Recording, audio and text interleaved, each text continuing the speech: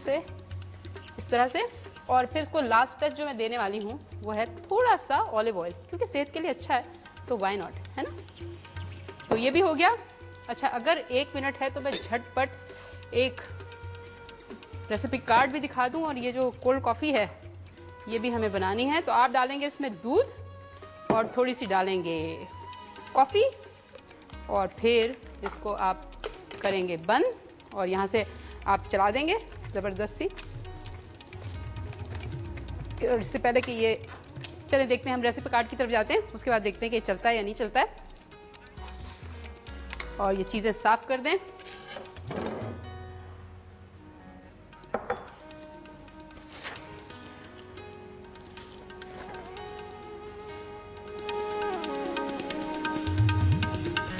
Pasta प्रिमोवेरा बनाने के लिए जो अज़ा आपको चाहिए, उसमें आप पास्ता ले लीजिए, आधा पैकेट। सब्ज़ियाँ ले लें, दो अदद। सीजनल सब्ज़ियाँ आपको जितनी मिलें, वो सब ले लें आप।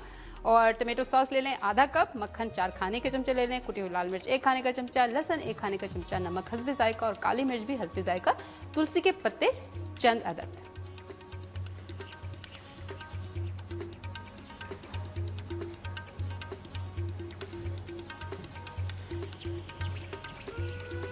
और deep fried cauliflower tomato and bread salad के लिए जो चीज़ें आपको चाहिए, उसमें फूल गोभी आप ले लें, आधी, टमाटर ले लें तीन अदद इटालियन ब्रेड के दो स्लाइसेस काले जैतून, चंद अदद, जैतून का तेल, हसबे ज़रूरत लेमन जूस एक खाने का चमचा, नमक और काली मिर्च हसबे ज़रूरत, कुटी हुई लाल मिर्च एक चाय का चमचा रेड सिरका एक खाने का चमचा और पार्सली लीजिएगा आप, हसबे ज़रूरत।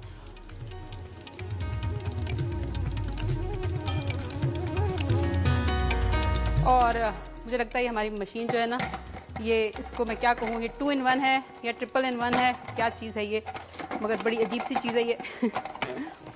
और इसको हमें लॉक करना पड़ता है। नहीं, अभी भी लॉक नहीं हुई।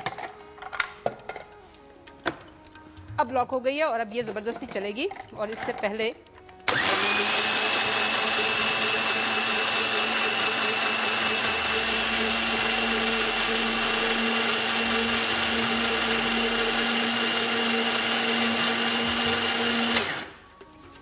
और मेरा ख्याल में हमारी कोल्ड कॉफ़ी जो है, ये ज़बरदस्त रेडी हो गई है। इसमें मैंने दूध डाला है, चीनी डाली है और थोड़ी सी कॉफ़ी डाली है। और आप चाहें तो लास्ट मिनट पे इस पर आइसक्रीम भी ऐड कर सकते हैं।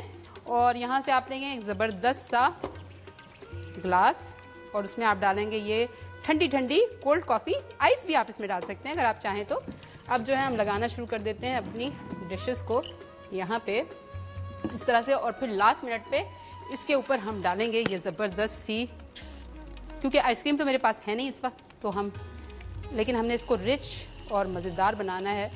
तो ये आपने डाल दी इस पर थोड़ी सी क्रीम अगर आपके पास ये वाला स्प्रे नहीं है तो आप चाहें तो क्रीम को बीट करके और फिर ऊपर से डाल सकते हैं उसको। पाइपिंग उससे जो आपका छोटा सा फ्लोरेट होता है ना, छोटा सा उससे आप डाल सकते हैं। तो आप बनाएँ ये खाना। और एक बात मैं आपसे कहना चाहती हूँ कि दुनिया में हमें वही मिलता है जो हम डिज़र्व करते हैं, वो नहीं मिलता जो हम डिज़ायर करते हैं। यानी कि जितना हमारी किस्मत में लिखा हुआ होता है और या जितनी मेहनत हम करते हैं, उतना हमें मिलता है और जिस चीज़ की हम तमन्ना करते हैं, वो नहीं मिलती। या मिलती है तो बहुत मेहनत के बाद मिलती है। तो इस बात पे मैं लेती हूँ आपसे इजाज़त आज के लिए। तो तब तक के लिए मेरी तरफ़ से आदियोस, चाओ और अल्लाह हाफिज़।